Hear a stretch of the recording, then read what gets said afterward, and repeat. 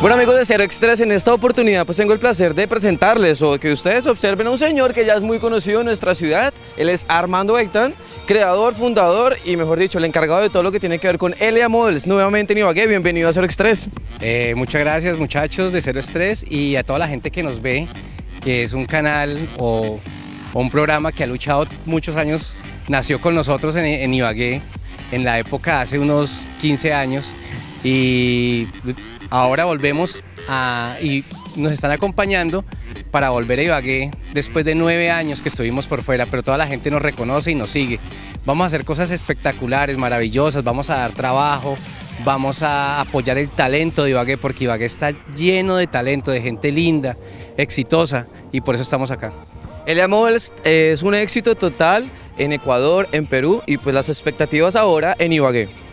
Sí, pues viendo cómo está creciendo la tierra y cómo es nuestra tierra, queremos hacer cosas maravillosas.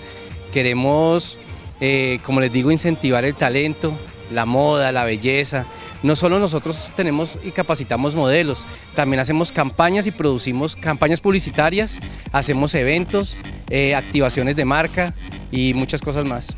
Pues estamos en un casting precisamente para escoger mujeres, hombres, niños, niñas. ¿Qué espera de este casting, Armando? Eh, que esperamos sacar mucho talento, mucho talento, sacar gente que trabaje con nosotros, eh, ir de la mano porque LA Models es de todos los ibaguereños, gente que quiere progresar, gente que no solo en Ibagué, porque es que de acá vamos a trabajar para todo Colombia y para todo el mundo. Y ahora obviamente con Cero Extrés unidos para los mejores eventos.